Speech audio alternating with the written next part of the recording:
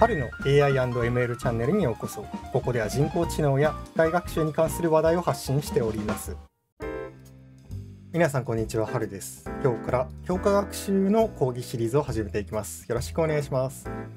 さて早速ですけれども教科学習って何でしょうか、えー、機械学習の分野は大まかに分けて3種類の学習があります、えー、教師あり学習えー、教師なし学習、えー、そして教科学習ですね。これらはめちゃくちゃ緊密な関係にはあるんですけれども一方で分けて考えた方が分かりやすい整理しやすいと思います。ざっとなんでこれらの説明をしていきましょう、えー、まず教師あり学習ですね。教師あり学習というのは、え X と Y のペアがたくさん与えられた時に X から Y の、え関数マッピング、まあ、この F のところですね。これを発見する問題ですね。えー、それに対して、えー、教師なし学習というのは、まあ、これは教師あり学習には似ているんですけれども、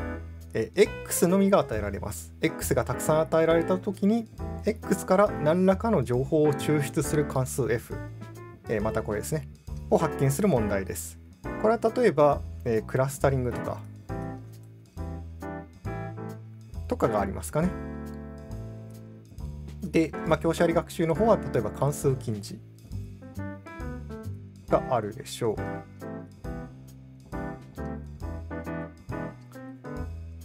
で古典的には、えー、機械学習っていうのはですねこの教師あり学習教師なし学習っていうのが主な話題なんですけれども、えー、教科学習というのも最近っていうかまあ、えー、まあ、古くからはあるんですけれども特に最近、え話題になっているところであります。教科学習は見かけとしてはですね教師あり学習に似ていて、えーまあ、教教師あり学習と同様に、えー、x から y の、えー、マッピング関数 f を見つける問題ではあります、まあ、ただその関数を発見するための手順が異なります教師あり学習では x と y のペアが与えられて、えまあ、そこから学習するという問題なんですけれども教科学習ではですね自分で x と y を集めていく必要があります環境と呼ばれるまあそうですねモデルの中を動き回って自分で情報を集めて自分で学習のためのデータを集めるということになります。これが教科学習が明確に他の学習方法と異なる点ですね。これからの講義でこの教科学習の面白さと難しさについてお話をしていきます。よ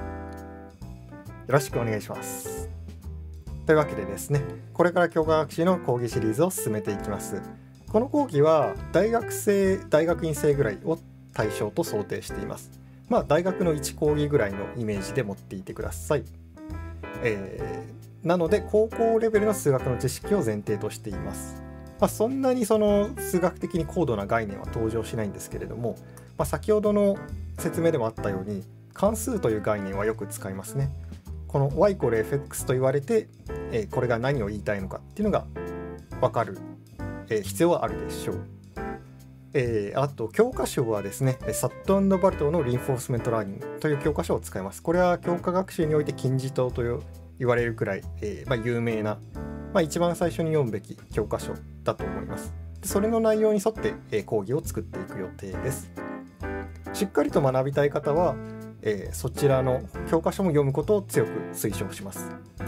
この講義の目標地点としては、まあ、全部聞いて、えー、自分で手を動かして学んでいけば、えー、最近の教科学習の手法を実装したりあるいは自分で論文を読んでいけるようになるというところを目指しています。というわけでこれからよろしくお願いします。では